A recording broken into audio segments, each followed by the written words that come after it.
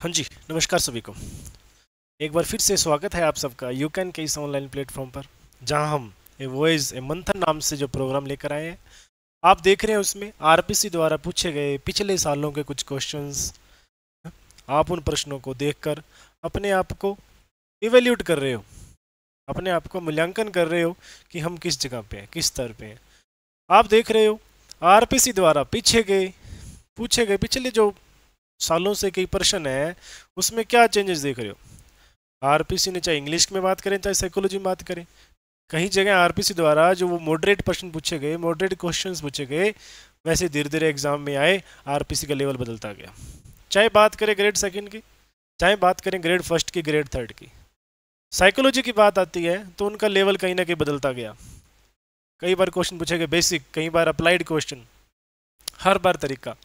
उन्हीं तरीकों को देखने के लिए, कैसे आरपीसी किस प्रकार, कौन सा पैटर्न अपनाती है, कौन सी टेक्निक यूज़ करती है, कैसे ऑप्शन से खेलती है, क्या करती है, उसको सीख रहे हैं और उम्मीद करते हैं कि आप उस चीज़ से सीख रहे हो। जी स्टार्ट करते हैं हमारी आज की क्लास आईसीटी को आगे जारी करते हैं ताकि आप अपने, जो सही तरीके से अपने उसको सीरीज़ में चल रहे हैं, उसको कंप्लीट कर सकें। जी स्टार्ट है हमारा आज का पहला प्रश्न। हमारा फ़र्स्ट क्वेश्चन है इंटरनेट प्रौद्योगिकी में एचटीएमएल से आशय है। जी एचटीएमएल से आशय है, हम बात करें। तो हमारा इसका आंसर रहेगा एच टी है ना? एचटीएमएल का क्या मतलब है? एचटीएमएल और बात करते हैं एचटीएमएल है ना? ऑप्शन देखें। Hyper text markup language hyper text makeup language medium language या कोई नहीं।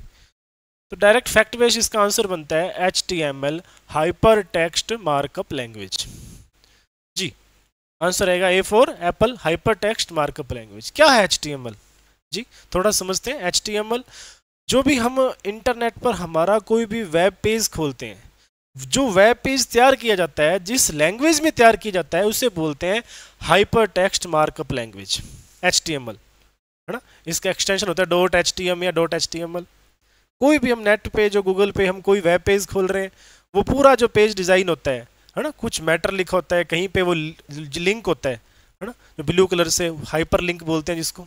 इस पर क्लिक करते ही एक और पेज खुल जाता है। ये जो सारा लैंग्वेज सेटअप होता है, उसको बोलते हैं हाइपर टेक्स्ट मार्कअप लैंग्वेज जी, पहला क्वेश्चन था डायरेक्ट याद हो जाना चाहिए कि H T M L hyper text markup language संबंधित किससे है? सर, जो वेब पेज तैयार होते हैं, उस लैंग्वेज को बोलते हैं नेट की जो लैंग्वेज पेजेस तैयार होते हैं, उसे बोलते हैं एच टी एम एल जी, अगला क्वेश्चन देखते हैं। निम्न में से कौन प्राथमिक स्मृति युक्त है? हमारी लास्ट क्लास में हमने मेमोरी को पढ़ा। मेमोरी है ना? प्राइमरी और सेकेंडरी मेमोरी तो इसमें हमारा क्वेश्चन आया आरपीसी द्वारा पूछा भी जा चुका है, प्राथमिक स्मृति युक्ति है ना? युक्ति मतलब कि डिवाइस है। प्राइमरी डिवाइस के बारे में पूछ रहा है तो हमने याद किया था प्राइमरी डिवाइस कि सेकेंडरी डिवाइस और प्राइमरी डिवाइस की बात करते हैं। प्राइमरी डिवाइस तो होती है, जो क्या होती है? कंप्यूटर बेस्ड होती है। कौन सी होती है? कंप्यूटर बेस्ड सेकेंडरी डिवाइस कौन सी होती है? यूज़र बेस्ड कौन सी होती है? यूज़र बेस्ड हमने याद किया था। पढ़ा था। हमने पढ़ा था प्राइमरी मतलब कि जो कंप्यूटर में इनबिल्ट होती है। RAM ROM cache. और हमने यूज़र बेस याद किया था। Hard disk drive solid state drive floppy disk pen drive जो यूज़र अपने हिसाब से यूज़ करता है। तो ऑप्शन देखें। हमने पिछली क्लास में देखो पेन ड्राइव यूज़र बेस्ड है। हार्ड डिस्क भी सेकेंडरी है। सी डी रोम भी ये हमारी अकॉर्डिंग है है ना? तो ये हमारी जो इनबिल्ट आती है, इसका आंसर रहेगा रैम इसका आंसर रहेगा रैम जो कि एक वोलेटाइल मेमोरी भी है और एक एस्थाई मेमोरी भी है। जी, अगला प्रश्न देखते हैं। मूक, मैसिव ओपन ऑनलाइन कोर्स। पिछली कई क्लासों में इसके बारे में बात कर रहे हैं। क्वेश्चन बदल बदल के पूछ रहे हैं। आरपीसी कभी किस तरीके से इसको प्रश्न पूछता है? कभी कौन से एग्ज़ाम में किस तरीके से पूछता है? आप भी देखेंगे। जी, मैसिव ओपन ऑनलाइन कोर्सेज के लिए भारतीय माध्यम क्या है? है ना? मूक, आपने पढ़ा था जो रीजनल लेवल पे, नेशनल, इंटरनेशनल लेवल पर जो स्टडी के लिए एक स्टूडेंट को एक ओपन स्टेज प्रोवाइड कराता है। है ना? आप अपना ऐसा एक ऑनलाइन स्टेज जिसमें आप बिल्कुल कम्युनिकेशन माध्यम से अपनी कोई भी प्रॉब्लम सॉल्व कर सकते हो। हाँ जी। तो भारत में जो कौन सा पोर्टल तैयार किया गया, उस पोर्टल का नाम है स्वयं क्या नाम है? स्वयं मूक के बारे में देख चुके हैं। मैसिव ओपन ऑनलाइन कोर्स पहले भी बात की थी पिछली क्लास में, इस बार पूछा कि भारतीय माध्यम कौन सा है? भारत ने कौन सा पोर्टल तैयार किया पोर्टल का नाम है स्वयं जी, हमने कल एक प्रश्न पढ़ा था। एम द्वारा वन स्टॉप एजुकेशन पोर्टल चलाया गया, उसका नाम था साक्षात। क्या नाम था? साक्षात। और ये हमारा मैसिव ओपन ऑनलाइन कोर्स है, जो भारतीय माध्यम के अकॉर्डिंग बनाया गया है, वो पोर्टल उसका नाम है स्वयं जी, अगला प्रश्न देखते हैं। कंप्यूटर में हार्ड डिस्क क्या है? बड़े पिक्चर से मैंने कल अच्छे से देखा भी था। क्या क्वेश्चन है? देखते हैं अपने। है ना? हम यदि एक बार किसी थ्योरी को अच्छे से पिक्चर्स के साथ देख लिया तो हम उसको ऑप्शन से भी कट कट करके हम उसको सही कर सकते हैं। जी, देखते हैं कंप्यूटर में हार्ड डिस्क क्या है। हमने पढ़ा भी था हार्ड डिस्क एक सेकेंडरी डिवाइस होती है, लेकिन इसमें ऑप्शन देखते हैं कि ऑप्शन क्या कह रहा है। नीचे स्टार्ट करते हैं hard high capacity C D ROM है। तो एक सी डी रोम की तो बात ही नहीं है हमारे यहाँ पे, है ना? ऑप्शन काटो। सी डी रोम एक डी वी डी रोम एक अलग डिवाइसेज है। High capacity optical disk storage भी नहीं है ये। नेक्स्ट बात करें। टेम्परेरी मैग्नेटिक स्टोरेज है, या परमानेंट मैग्नेटिक स्टोरेज है? तो हमने कल देखा था, एक मैग्नेटिक स्टोरेज थी ये, और परमानेंट थी हार्ड डिस्क हमने देखी थी। बिल्कुल एक सॉलिड स्टेट ड्राइव की तरह ही ये हार्ड डिस्क भी एक ड्राइवर होता है जो सीडी को कॉम्पैक्ट को चलाता रहता है। तो इसका आंसर क्या रहेगा? परमानेंट मैग्नेटिक स्टोरेज जी, हमने कल देखा था यह एक संग्रहण युक्ति है, जो कि स्थायी है है ना? जिसमें अपना डाटा पर्सनल डाटा भी हम स्टोरेज रख सकते हैं स्टोर कर सकते हैं काफ़ी लॉन्ग टाइम के लिए, है ना? आगे चलते हैं। डैश भारत में सरकारी निकायों को नेटवर्क का आधार ई गवर्नेंस समर्थन प्रदान करता है। मतलब कि हमारी गवर्नमेंट की जो वेबसाइट चल रही है, उसको कौन सा सिस्टम चलाता है? हम 99 परसेंट स्टूडेंट्स जानते होंगे, है ना? ऑप्शन देखते हैं। हर एक गवर्नमेंट साइट के साथ हम एक नाम देखते देखते हैं। हम देखेंगे यदि किसी ने अपना ना, कहते हैं, तुक्का लगाना हो तो तुक्का किस तरीके से लगेगा कि देखो नेक्स्ट को हम बात करूँ, सूचना प्रौद्योगिकी विभाग है या विधि विभाग है। तो इसका आंसर ध्यान है कि हर एक साइट के साथ हमारे को ये निक ज़रूर मिला है। है ना? NIC NIC national informatic centre हर साइट के हम देखते हैं कि गवर्नमेंट की साइट को यह मेंटेन करता है, उस पर कंट्रोल करता है। है ना? कोई बाहरी उस पर कोई, जो अवैध कोई एंट्रेंस ना कर जाए, इसको हैक ना कर ले। कंट्रोल ना करे। तो निक है, इसका ये नई दिल्ली में काम करता है और हमारे जितने भी सरकारी निकाय हैं, सरकारी गवर्नमेंट की कोई भी जो वेबसाइट्स है, उन पर नियंत्रण रखता काम करता है निक है ना? आगे चलते हैं। आईसीटी के कुछ ऐसे क्वेश्चंस जो हमारे आगे आने वाले एग्ज़ाम्स बिल्कुल हेल्पफुल रहेंगे। आप इनको अच्छे से याद करें, आपको इसका ज़रूर फ़ायदा मिलेगा। हाँ जी, किस प्रकार के कनेक्शन के लिए डब्ल्यू सुरक्षा का प्रयोग करता है? किस प्रकार के कनेक्शन के लिए डब्ल्यू सुरक्षा। है ना? एक अच्छा क्वेश्चन मॉडर्न क्वेश्चन हम सभी ऑप्शन से बात भी करें, ये भी देखें। डब्ल्यू सुरक्षा की बात करता हूँ। स्टूडेंट की जब बात आती है तो स्टूडेंट आप मानोगे कि वह लाइब्रेरी में ज़रूर जाता है। लाइब्रेरी में जाता है तो वहाँ जाते जो वहाँ पे जो आपको वाईफाई मिल रहा है, आप ज़रूर यूज़ करते हो।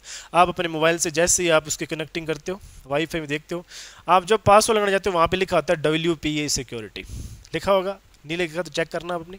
डब्ल्यू पी ए सिक्योरिटी है ना? क्या होता है? डब्ल्यू पी ए सिक्योरिटी देखेंगे अपने।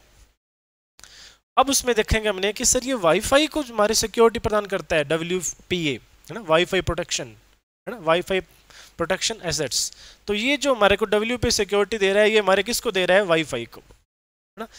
चेक भी किया और ये जो ब्लूटूथ है, हमने देखा, यही एफ़ होता है है ना? फ़ाइल ट्रांसफ़र प्रोटोकॉल जो काम करता है, इसके तहत बिल्कुल लोकल एरिया में कुछ लिमिट में हमारी फाइल्स को ट्रांसफ़र करता है एफटीपी फ़ाइल ट्रांसफ़र प्रोटोकॉल उसका बेस्ट एग्ज़ाम्पल ब्लूटूथ है है ना?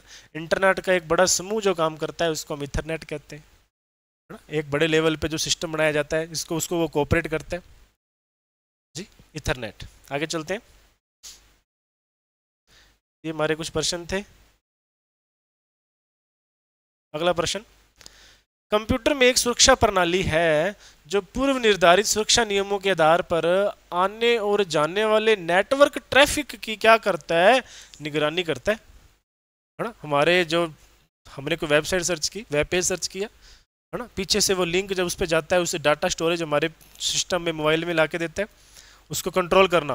कोई खोला तो हमने क्या कोई और ऐड आ जाती है, कई बार कुछ और चीज़ घुसपैठ कर जाती है, पूछ क्या रहे हैं, बता क्या रहे हैं। उसको कौन कंट्रोल करता है? तो इसका आंसर रहेगा फायरवेल क्या आंसर रहेगा? फायरवेल उस पर कंट्रोल करता है। ठीक है? बाकी ऑप्शन देखें, क्या चीज़ है? एंटीवायरस अभी जानते हैं कि जो वायरस एक सॉफ्टवेयर है, उससे बचाने के लिए जो हम उसको एक दूसरा सॉफ्टवेयर करते हैं, उस वायरस को दूर करने के लिए वो एंटीवायरस रहता है। स्पैम क्या है? अवांछित ईमेल्स असामाजिक ईमेल जो हमारे को प्राप्त हो जाती है, जो हम नहीं चाहते। कहाँ से आई है, कैसे आई है, हम नहीं नहीं पता होती। वो होती है स्पैम स्पाईवेयर क्या होता है? अवांछित सॉफ्टवेयर है ना? क्लिक कहीं और किया, वो धक्के से हमारे से ओके करवा के हमारे सिस्टम में इंस्टॉल हो जाते हैं। हमारा पर्सनल डाटा वो क्या कर लेते हैं? लीक कर देते हैं। वो स्पाईवेयर अवांछित सॉफ्टवेयर स्पाईवेयर अवांछित मेल ईमेल और वायरस को जो हमारे सिस्टम से भगाने के लिए जो रखा जाता है सॉफ्टवेयर का नाम होता है एंटीवायरस और जो सुरक्षा प्रणाली है, जो वेबसाइट पे कंट्रोल करती है, और इसका आंसर क्या रहेगा? फायरवेल तो इसका आंसर क्या रहेगा? फायरवेल सी फॉर कैट हाँ जी, आगे चलते हैं. निम्नलिखित में से कंप्यूटर अनुदेशन में प्रयुक्त टेक्नोलॉजी नहीं है. कंप्यूटर सहायक अनुदेशन बनाया गया। हमने पढ़ा, एक टेक्नोलॉजी हार्डवेयर टेक्नोलॉजी मशीनों के द्वारा सब बच्चा जो सीख रहे हैं। उन्हीं मशीनों में हमने देखा कि सर सॉफ्टवेयर की सहायता ली जा रही है। जो प्रोग्राम्स बनाए हैं, वो प्रोग्राम्स वहाँ पे रन होते हैं मशीनों में। हम उससे बिल्कुल देख कर सुनकर, उनको जल्दी से हम क्या कर रहे हैं? एक्वायर कर रहे हैं। जल्दी से माइंड में सेट कर रहे हैं। हाँ तैयार हो गया। मतलब कि जो मशीनों का प्रयोग हुआ, वो हार्डवेयर टेक्नोलॉजी जो प्रोग्राम सॉफ्टवेयर तैयार किए गए सॉफ्टवेयर टेक्नोलॉजी एक तीसरी टेक्नोलॉजी आती है कोर्सवेयर टेक्नोलॉजी। ये टेक्नोलॉजी होती है उन प्रोग्रामर्स के लिए जो ये सॉफ्टवेयर वाले प्रोग्राम्स तैयार करते हैं। इनके लिए क्या करते हैं? प्रोग्राम तैयार करते हैं। मतलब कि कैसे सॉफ्टवेयर ज़रूरत है? उन सॉफ्टवेयर को बनाना, वो कौन सी टेक्नोलॉजी में आएगी? Courseware technology. तो जब ये तीनों टेक्नोलॉजी, हमारे ए बी सी का, हमारी जिसका आंसर क्या हो जाएगा? क्रिएटिव टेक्नोलॉजी जो कि कंप्यूटर सहायक अनुदेशन में प्रयुक्त टेक्नोलॉजी नहीं है, इसका आंसर रहेगा क्रिएटिव टेक्नोलॉजी हाँ जी, आगे देखते हैं। निम्नलिखित में से कौन सा समूह हार्डवेयर से संबंधित है? एस्पेक्ट सॉफ्टवेयर हार्डवेयर जो हम लोकल भाषा में बात करें, देसी भाषा में बात करें, ऐसे जो उपकरण जिनको हम देख रहे हैं छू कर देख सकते हैं। सॉफ्टवेयर उनको कंपाइल करने के लिए जो बनाई गई एप्लीकेशंस है है ना, जिनको हम छू नहीं सकते। हमें यही सिखाएगी परिभाषा, वो सॉफ्टवेयर है। चेक करते हैं, कैसे कैसे ऑप्शन में देखते हैं। डी ऑप्शन को उठाता हूँ। सीपीयू बिल्कुल हमारा एक हार्डवेयर है, हमने देखा।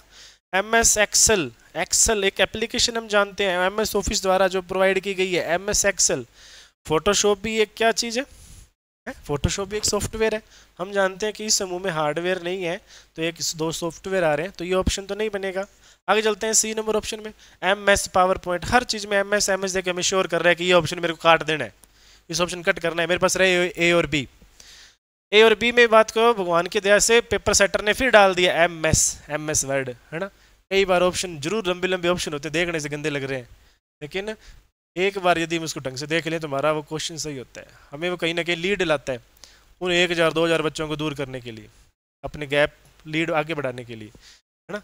M S Word, keyboard A L U C A P U हाँ जी, इसमें देखें, एम एस वर्ड ज़रूर एक हमारा सॉफ्ट जो एप्लीकेशन सॉफ्टवेयर है, बाकी कीबोर्ड भी हार्डवेयर है A L U C P U ये भी तीनों हार्डवेयर के जो यूनिट्स हैं। हमारा आंसर देखो, तीन मैंने काट लिया पहले में जो मर्ज़ी था, मैं तो ये करके आके बबल अपना ब्लैक करके आ जाऊँगा ब्लू पेन से भराऊँगा, है ना? तो इसका आंसर क्या रहेगा? ए एल यू बिल्कुल ये भी हमारा हार्डवेयर है C P U monitor keyboard ये हमारी हार्डवेयर यूनिट है, इसका आंसर रहेगा ए फॉर एप्पल जी, आगे चलते हैं।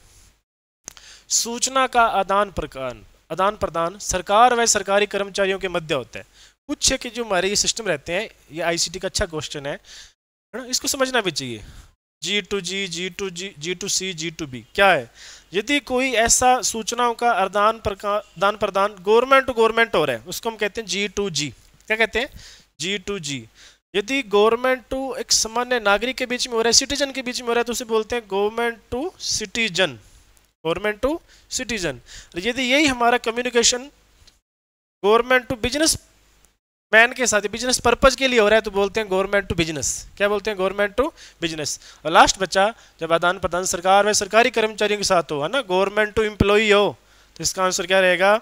इसका आंसर क्या रहेगा? Government to employee A for apple government to employee हाँ जी, आपने साइकोलॉजी के क्वेश्चन देखे आईसीटी क्वेश्चन देखे। मैं मानता हूँ यदि ये जो हमने 25-30 क्वेश्चन जो भी याद किए हैं, अच्छे से याद करें मेमोराइज करें, ये गलत ना हो कभी, है ना?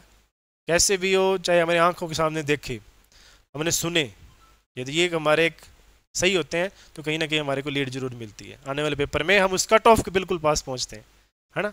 चलते हैं, आगे और कुछ थ्योरी के फैक्ट आज तैयार करते हैं। हाँ जी, आप सभी देख रहे होंगे।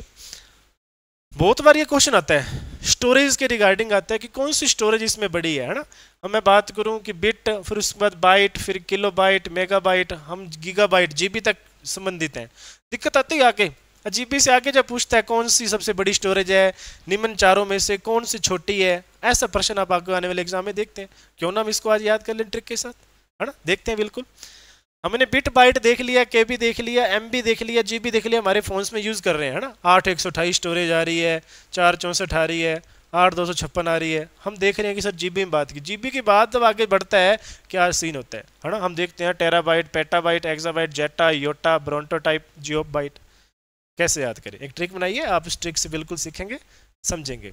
जी ट्रिक है है ना? एक कोई अपने दो भाई गए होटल में, एक बड़ी कनाडा के होटल में गए अच्छे बड़े। है ना? यहाँ इंडियन लोग हैं, क्या चलते हैं, कनाडा चलते हैं। होटल में बढ़िया खाना खाया। खाना खा के वहाँ पे वेटर आया। वेटर ने टिप के लिए उनके आगे जो रखा, उनके बिल बुक तो वो कह रहे हैं कि, दूसरे को बोल रहे हैं कि यहाँ के वेटर टिप एक्स्ट्रा ज़्यादा बाइट मांगते हैं ना? वहाँ पे बाइट मिलते हैं उनको। बाइट देनी पड़ती है। तो क्या बोल रहे हैं? टिप एक्स्ट्रा ज़्यादा बाइट मांगते हैं। तो दूसरा बोला हाँ या ब्रोजी है ना? देसी इंडियन है तो या ब्रोजी तो याद करेंगे टी से टेराबाइट टी से टेराबाइट पी से टिप पढ़ाई ना हमने? टी से टेराबाइट पी से पेटाबाइट टिप क्या बोल रहे टिप एक्स्ट्रा और ज़्यादा एक्स्ट्रा से एक्स्ट्रा बाइट एक्साबाइट और ज़्यादा से जेटाबाइट है ना?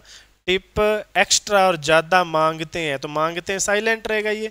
ये हमारा साइलेंट है तो दूसरा भाई कह रहा है, या ब्रोजी तो या से योटोबाइट ब्रो से ब्रोंटोबाइट और जी से जियोबाइट।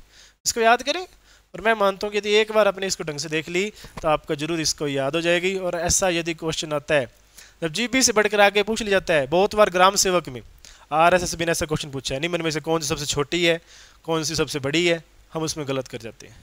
ना जीबी तक ध्यान देते हैं टेराबाइट तक भी ध्यान देते हैं, क्योंकि टीबी आजकल काम आ रही है, टेराबाइट काम में आ रही है। हमने कल भी बात की थी एस एस टी में और एच डी डी में हम टीबी ले रहे हैं। आगे चलते हैं तो टीबी से याद करेंगे, है ना? वेटर को बोल रहे हैं कि यहाँ के वेटर टिप ज़्यादा एक्स्ट्रा बाइट मांगते हैं। तो दूसरा कहता है, या ब्रो जी तो टी से टेराबाइट, पी से पेटाबाइट एक्स्ट्रा, है ना? एक्साबाइट ज़्यादा से जेटाबाइट। तो दूसरा बोल रहा है, या ब्रो जी, योटोबाइट, ब्रोंटोबाइट, जियोबाइट।